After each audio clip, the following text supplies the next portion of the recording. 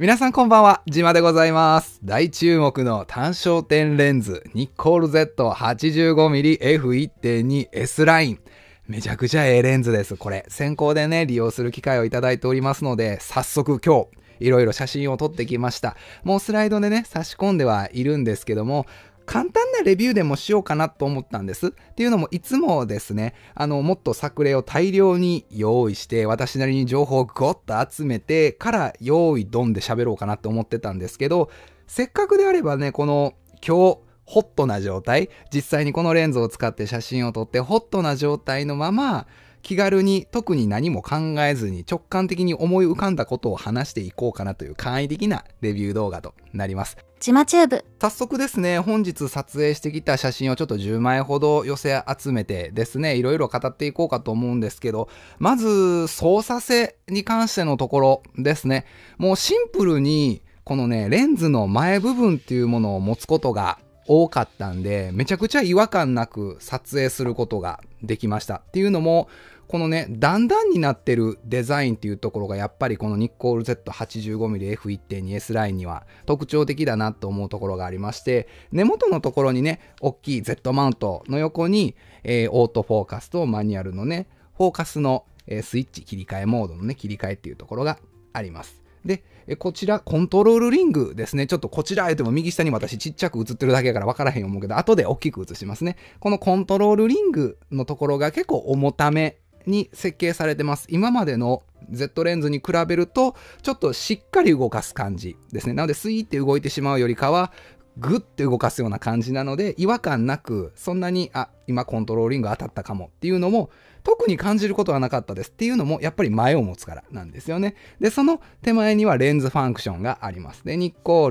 ルの S ラインのね、バッジがついていて、フォーカスのところですね。実際オートフォーカスで利用するばっかりだったので、今日はそんなに使うことはなかったです。で、オートフォーカスがね、昔のレンズであればちょっと迷いがちというか、え遅めのレンズであればある程度マニュアルで私たち人間がグッと持っていって、ある程度アシストしてオートフォーカスみたいな使い方もしてたんですけども、今のオートフォーカスのレンズはめちゃくちゃ優秀なんでね、もうそういったことはせんでも、普通にオートフォーカスで使うんで、マニュアルフォーカスは逆にマニュアルで撮りたい時用に使えばいいかなと。で、一番前ですね。回るそうなデザインをしてるんですけど、ここは回るものではなくてグッと持つところになります。なので、カメラを持ちながらレンズの結構前の部分をね、持った状態で写真を撮るというところがあったので、操作性に関しては全く問題ございませんでした。普通に快適に使えましたね。で、この、えーと、レンズのね、フードをつけてもらうと、これね、結構大きくなるんです。だいたい1.5倍ぐらいになるかな。レンズがもうこのサイズなんですけども、ちょっと1.5倍ぐらいに伸びるような印象ですね。でも全くもって違和感なく使うことができました。確かにパッと見はでかいんですけど、撮ってるこっちの身からすると別に何も思わんっていうところがあります。やっぱりそれは私自身がね、超望遠レンズ、ニッコール Z400mm の F4.5VRS なんかを持ち歩いて撮影する機会が多いので、85mm で1キロちょっとぐらいであれば、うん、カメラつけても2キロちょっとぐらいなんであれば、全く問題なく撮影することができたという印象です。なので、カメラバッグに入れての移動であったりとか、あとはですね、なんていうんやろ、その、撮影中のこのハンドリングといいますか、持ってる時もどうなんていう話なんですけど、全く問題なかったです。っていうのも、重心がね、どっちかっていうとカメラ側に来るんですね。このレンズの前側にも確かに大きなガラスっていうのは構成図を見る限り入ってはいるんですけど、結構ね、このカメラ側にグッて重量が来るんで、私たち側に結構重心が来てるんですね。なので、結構振り回しやすいって言ったらあれやけど、撮影を結構画角調整とかね、気軽ですし、特に重たさってものは撮影中は気にならなかったです。で、他のレンズなんかであれば、撮影中は特に楽しくてね、アドレナリン出てるんやけど、帰宅する際にね、結構、うわ、カメラ今日機材持ってきすぎかなっていうところがあったりするんですけど、この 85mm は肩からかけてても特に何も思わなかったです。もうぶつけへんようにとにかく注意するっていうところばっかりに気を配っていて、重さっていうところは特に気を配らなかったっていうところがありますね。で、明るさのところで触れていくと、開放 F 値1.2、もうシンプルにすごすぎるというところがあるんですけど、思ったより普通に使えたっていうのが印象。もっとね、1.2私自身苦戦するんかなって思ってたんですけど、やっぱりね、50mmF1.2S ラインっていうものがすでに出ていて、私自身人物撮影でね、50mmF1.2S ラインをよく使うことがありますので、あの感覚なんですね。なので 50mmF1.2S ラインに触れられたことがある方は、特に違和感がないです。シンプルに 50mm から85に焦点距離が、まあちょっとね、長玉になるかなっていうぐらい、中望遠領域になるかなっていうぐらいの印象です。で、実際ファインダー覗いていると、OLED 覗いてると、そうですね、まあ背景のボケ味っていうものがやっぱり多少圧縮効果と言いますか、中望遠の領域のボケ味になりますので、よりえー、柔らかい、とろみのあるようなボケ味っていうものを感じたので、特に何も思わなかったです。どちらかっていうと、その、重さとか、サイズとか、明るさみたいなところ、そうですね、特に困ることもなく、意外とスッて入導入できたっていう印象ですね。で逆光体制に関してはかなり優秀かなと特別あのポートレートの撮影の時も結構西日が、えー、強い時間帯にはなっていたんですけども逆光気味で撮影してね、おそらくレンズにもそこそこ、あの、光っていうものは、まあ、乱反射した状態で入ってたとは思うんですが、特に何も思わなかったです。うん、アルネオコートとかはね、入ってはいないんですけど、ナノクリスタルコートっていうところでね、あとは ED レンズであったり、非球面レンズも入っておりますので、軸上色周差であったりとかね、そういったあの逆光体制も含めて、ものすごく優秀なレンズかなというところになります。で、描写性能はね、もう私自身撮ってて楽しかったレンズ。もう抜群で申し分ないです。AIF の 85mm の F1.4 データイプレンズですね。もう20年ぐらい前かな。私がその商業撮影の時に先輩さん方に 85mm の F1.4 っていうものを実際に触れたことがその時なかったんで、実物をちょっとお借りして利用させていただく時があって、すごいやろ。仕事では F1.4 って使ったら厳しいけども、それは、あの、自分の時間で撮る分には F1.4 で堪能してもうてええから撮ってみって言うてもうてね。それこそカメラにね、お金を全然かけれない時代だったんで、私自身。なのですごくいい経験になりました。で、AIF の1.4がなんで仕事で使えへんかっていうと、和装とかね、えっ、ー、と、ドレスであったりとか集合ってなってくると、やっぱり F4 からまあ F8 ぐらいの間で撮った方が、そのお着物のね、柄であったりとか、えー、2列3列でご家族で並ばれた時に、やっぱり社会震度の、え関係でですね、あまり小さい F 値っていうものは、うん、タブーというわけではないんですけども、当時はあまり好ましいものではなかった。ただ単純にリスキーなだけだったんで、今はね、時代も変わってハウススタジオさんとかがかなり、あの、メジャーと言いますか、人気になっている中で、こういった映える写真といいますか、ボケ味を強調した写真というものは好まれる傾向になっておりますので、最近はね、開放 F 値付近での、え、写真というものも撮られているスタジオさんなんかもあるかなっていう印象はあります。なので、この開放 F 値1.2を使った時ですね、この 85mm で今日ファインダー覗いた時に、うわなんか時代感じるなと。なので、インパクトとしては、なんでしょうね、その各 D タイプも G タイプも E タイプも Z タイプちゃうな。S ライン。Z マウントの S ラインっていうものがねその各世代ごとの高品質レンズっていうものをねあの私はどんどんどんどんこの自分の目玉で自分の肉眼でねこうファインダー OVF であるが EVF であるっていうのはちょっと細かい点はあるんですけどこう覗いてその時代時代のニコン一筋でバッてね、使い続けてきたっていうのは、えー、大きいかなと。動画とかであれば別メーカーさんも採用しますけど、静止が写真ってなってきて、ニコンのカメラを使い続けてきて、各世代のね、この最高峰のレンズっていうものを体験できたってのは本当に嬉しく思います。という感じで今回いろいろ喋っているんですけど、ちょうど今ね、オートフォーカスの動画が流れてると思うので、その話にしましょう。オートフォーカス今日の撮影中ね、ちょっと参考動画撮ろうかと思ったんですけど、集中してたんで、もうこれ別撮りしようと思って簡単に先ほどパソコンのモニターにね、その現像中の、え写真を写しながら、えー、ですね、オートフォーカスというものを試してみました。いかがです？あの、簡単にフォーカスリングガッて回して、あの、オートフォーカス動くかなっていう程度なんですけど、85mmF1.2 結構優秀だと思いませんか？私自身もっと遅くてもおかしくないなっていう印象だったんですよ。っていうのも、こんだけ大きいガラスが入ってると。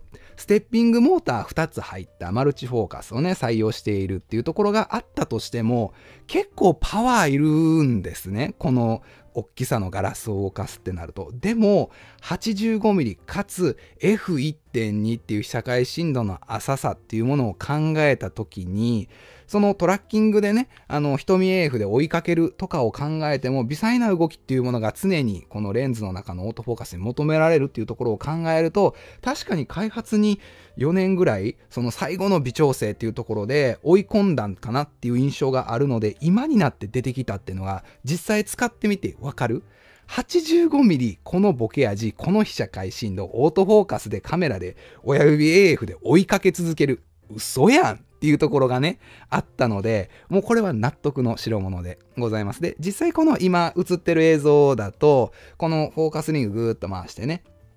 あの、若干顔認識がもう動いちゃってるんですけど、顔認識が動いた上での瞳 AF なんで結構早めなんですけど、実際の撮影でもそんなに違和感はなかったです。爆速 AF かっていうと、もっと爆速のね、びっくりするぐらい速い、あの、オートフォーカスの単焦点のレンズっていうのも、私過去に、あの、ニコンのね、レンズで利用したことがあるんで、そういった爆速オートフォーカスかっていうと、そういうわけではないんですけど、別に野鳥を撮るとか、その、スポーツを撮るっていうわけではないのであれば、人物をね、普通に撮る分であったり、スナップを撮る分であれば、必要十分なオートフォーカスだなっていう印象を受けておりますので、何より快適に、えー、ボケ味が堪能できて、素晴らしい描写力のレンあの写真というものが量産できる、簡単に撮ってしまえるっていうのがこのレンズの印象かと思います。ちなみにですね、F 値の値別でどれぐらいボケ味が変わるのかっていうのをですね、参考に取ってきました。本当に花壇の横に生えてた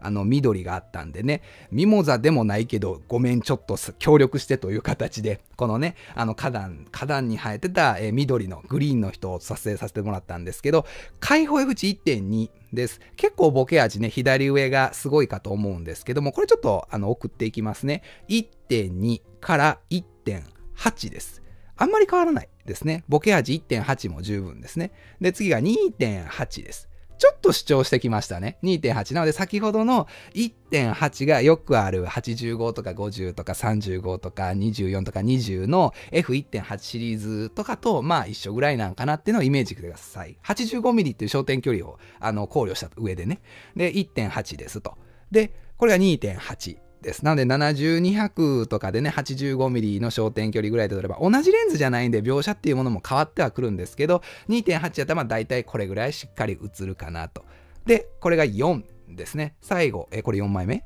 ですね。4枚目なので、これが F4 です。えー、ちょっと待ってね。もう一回戻しますね。1.2。18。28え4っていう形で撮ってきます。やっぱ2.8と4も結構くっきりしてますね。私から見ると、この左上のね、ところが4になると結構パキッと緑が主張してると。で、1.2になるともうもやもやーとしている状態ですね。これが、えー、F 値の、えー、ところになります。逆にこれをちょっと大きくできるんかな？こういった感じになります。結構ね、密集しているところってね、あのー、レンズの性能が試されたりするところがあるんですけども、こういった形でね、しっかり映っているかと。で、これが1.2なので、4。4とかだとこれね、もっとしっかり映るような印象がありますね。もうここまで絞ってもらえると、安心感のあるね、えー、写真になるかなと。なので1.2のレンズではあるんですけども、別に絶対1.2で使わなあかんってわけではなくてですね、F2.8 であったり4であったりというところでね、使ってもらえても問題ないかなというところですので、え、開放 F 値1.2っていうパワーワードだけを聞いてしまうと、ね、そのボケ味であるとか明るいっていうところがあるんですけど、決してそこだけではなくて、全体的にバランスがめちゃくちゃいいレンズだなっていう印象があります。で、早速ね、そ他にもポートレートのね、お写真なんかを見ていくと、結構描写は優しめっていう印象を使っている時に思いました。なんだろうね、そのね、F1.8 シリーズの24とか35とか 50mm こういったね 50mm の F1.8 シリーズっていうのは結構改造感がすごいんですよ。結構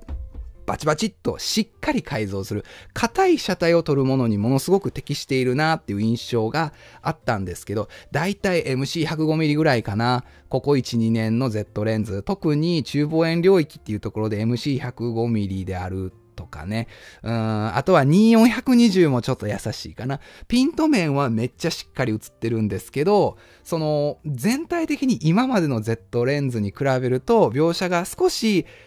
ちょうどよく、程よく優しいという印象を受けています。で、この 85mmF1.2S ラインも人物撮影っていうものがね、あの、想定される中で、めちゃくちゃね、あの、綺麗に優しい描写だなってものを印象と受けました。これが、85mm の F1.8S ライも比較的優しいんですけど、他の Z レンズやったらもっとバキッと改造しすぎな感じ。改造しすぎなレンズは改造しすぎな、えー、写真に向いているんですけど、私はどちらかというとね、優しい雰囲気の写真が多いので、どちらかというとほわっとした感じのね、えー、お写真が撮れるこういった 85mm であったり、24120のね、えー、レンズなんかは比較的個人的には、えー、好みな描写になります。これはもうレンズの個性といいますか、特性になりますので、どういったね、えー、レンズを選ばれるのかっていうのはご自身のね、判断で。で、50mm の F1.2S ラインも結構優しめです。でも、えー、ここまで柔らかくはないかな。もうちょっとしっかり、えー、映る印象がありますので、85は特にね、ポートレートにはもう最適なレンズちゃうかなっていう印象があります。で、このポートレートのところは全て F1.2 で撮影しております。もうね、やっぱり F1.2 の作例を残しとかなあかんなというところで F1.2 を中心に撮影しましたが F2.8 とかでも4でも全然撮れるんです。ただ F1.2 で撮ってると何が楽できる楽言うたらあかんな。何がその強みというか特徴的かっていうと背景をえっとねその映り込むものあるじゃないですか、いろいろ。映り込むもの、背景にいろいろ、例えばこのね、後ろにほんまは木が密集してたりとか、左下に緑があって、その上にね、ブロックみたいなものがあったりする環境なんですけど、これが2.8とか4やったら結構主張するんですよね。でも1.2で撮ってしまうからこそ、もうボケ味が相まって、あまり目立たなくなる。やっぱりその被写体っていうものがモデル様がですね、強調されて、あの、映りますので、もう、なんやろね、場所移動とか画角変更ではなくて、F 値のアプローチで背景を変えれてしまう。その背景、被写体、前ボケっていうレイヤー分けた時に、被写体をボケ味で調整できるっていうのはめっちゃ楽やなってのは使ってて思いました。結果的に量産できるってそういうところやと思うんですよ。その都度、あ、この環境やったらこっちが、この環境やったらこっちがっていうものをあんま考えんでも取れてしまう。これはどうなんて言われてしまえば、いや、まあそれはレンズの凄さやから、まあ使えるもんはね、助けた、助けてもらえればええやんと。せっかく魅力としてあるんやからというところでね、他のレンズであればもっと、なんやろね、普通の写真に仕上がってたと思うんです。でも開放 F 値1.2で 85mm っていう焦点距離の中望遠の圧縮効果があるからこそ、こういった柔らかい印象で私好みの写真に仕上がっている、優しい写真に仕上がってるなという印象があります。かつ、オートフォーカスもかなり優秀なので、違和感なくね、利用できると。いうところがあります。なのでこれ実は背景ほぼほぼ一緒っていうのは、私なりのその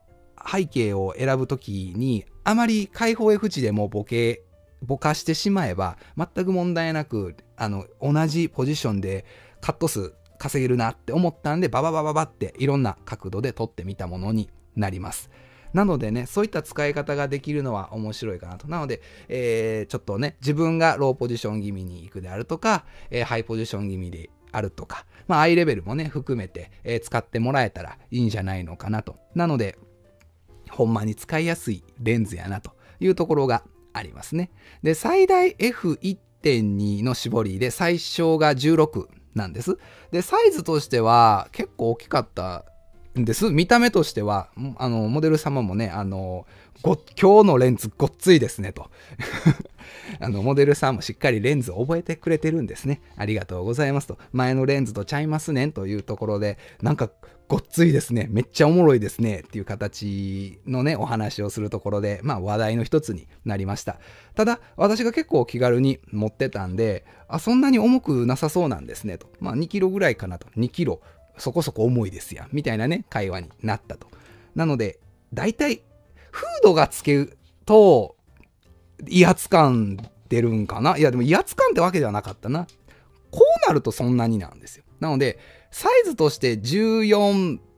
センチぐらい ?141.5 で、えー、102.5なんで10センチかけ14センチ。で、フードをつけたら、まあ、もうちょっと伸びるかなっていう印象です。質量は 1160g でカメラとくっつけても 2kg ぐらい。Z9 やったとしても、そうですね、えー、っと、2.5kg 前後ぐらいかな。2.5までいかんか。もうちょっと軽いね。で、スプリング式の LC の 82B っていうレンズフードがついてます。やっぱりゼントマウントのね、内径 55mm の恩恵もあって、手前にね、大きいレンズを配置することができるんで、この大きなガラスを詰め込むことができてるんかなっていう印象があります。で、オートフォーカスね、今ちょうど映ってますけど、アクチュエーターに STM を2個、ステッピングモーター2個搭載してるんでね、実用的な開放 F 値に1.2。なので今まで1.2のレンズっていうと、結構ね、その1.2で撮れるけど、描写がトロットロしすぎて、その、あんまり実用的でないとか、開放 F 値1.2ってなるとオートフォーカスが使えへんレンズっていうものが多かったんですけど、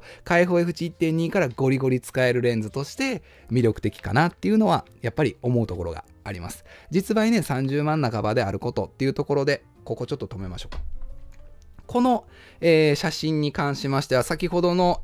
F1.2 から F4 のね、その、ちょっと撮ろうかなって思ってたんですけど、こっちのグリーンはね、あの、後ろがあんまり結構ガチャガチャしてたんで、あの、1枚だけに持ってきました。でもね、結構綺麗に写ってるんですよ。これは、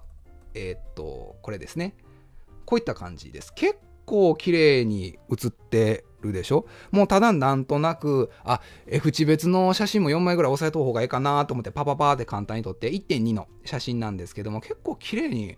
映ってますよね。もう何でしょうね。もうほんまにその辺にある何気ないものがこのレンズを使って写すことによって全部が雰囲気ある写真に仕上がるっていうのがめちゃくちゃ面白いなというところがあります。なんかこの1.2のレンズやからこそ撮ってみたいなという印象がありますね。これもほんまにただそのちょっと何て言うんですか商業施設の一角なんですけどもこれモノクロに仕上げた方が良かったかもしれんな。なんとなく今思いました。ちょっと後でモノクロも試してみますけどもこういった感じでねただのショーウィンドウといいますかほんまに街角なんですけどもなんとなく85結構ね、離れなあかんっていうところがあるんです。でも、歩きながらスナップとしてね、撮影する分には、自分から85で捉えた時にこれぐらいの画角で収まりそうっていうものを探しながら、あ、こっからやったら綺麗に撮れそうみたいな感じで収まりいいものを、えー、探してもらえたらいいかなという印象があります。球面周差とかね、ディストーションっていうものを各周差っていうものは非球面レンズが採用されているので、もう効果的にね、もう軽減してくれてるっていうのはほんまに驚くところが数多くありました。このレンズじゃなかったら多分もっと考えて撮らなあかんと思うんですよ。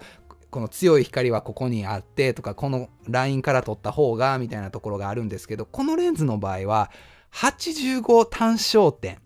でもう一つ F1.2 でいいんかっていうところです。もちろんいいんです。いいんですけど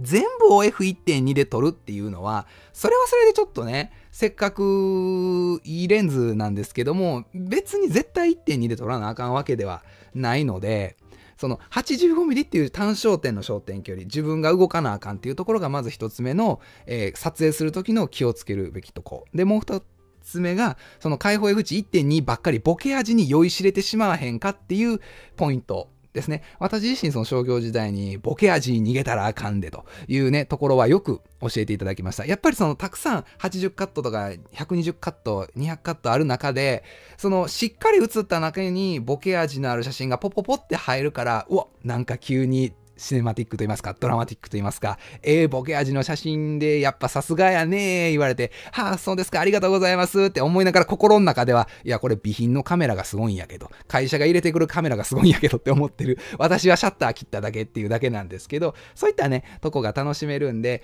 開放 F 値1.2、せっかくであればね、開放 F 値1.2を使ってほしいところはあるんですけども、開放 F 値1.2ばっかりに、えー、頼るっていうのはちょっとね、気をつけた方がいいかと思います。なので、えー、っとね、開放 F 値1.2で、例えばこういった写真なんかであれば、えー、目をね、左目、この場合モデルさんの左目になるのかな？左目にピントを合わせたとした場合、鼻先からも右目にかけてですね、開放 F 値1.2になると、ボケ感が若干出てくるところがあります。これはもう被写体との距離っていうものがあるんですけども、ボケ味が出てくるところがあるので、そういった開放 F 値1.2ばっかりを使ってると、ちょっとね、あのー、せっかくなんであれば1.8、えー、2.8、あたりを1.2から使えるレンズなんやけども、ん ?1.2? 合ってる ?1.2 から使えるレンズなんやけども、レンズのね、真ん中の美味しいところをちょっと絞って使うようなね、えー、撮影っていうものを試みてもらえたらいいかなというふうに思います。これね、Z レンズの F1.2 S ライン 85mm 今日の動画、ほんまに特に台本も用意せずですね、私自身が今日撮影して、特にそのセレクトする中で、ピックアップしていく中で、あ、これこれこれこれってあの、レーティングっていうんですか？あの、星マークをつけるやつあるじゃないですか。星マークパパパってつけて、その特に私がファーストインプレッションで衝撃というか、印象深かった写真を、えー、並べてみた感じにはなります。なので、ほんまにいつもよりその拙い話になってるかもしれないんですけど、速報的にね、この 85mm F1.2S ラインの魅力みたいなものが皆さんにちょっとでもね、伝われば嬉しいかと。なので今度はね、ちゃんと作例も台本も喋る内容も整理整頓して、えー、お伝えしていこうかと思いますので、逆にジマさんこの85の F1.2S ラインについてさ、なんか気になるとこここあんねんけど、どないなんていうものがあれば、ぜひあのコメントで書いてもらえると嬉しいです。また次の動画でお会いしましょう。じゃあね。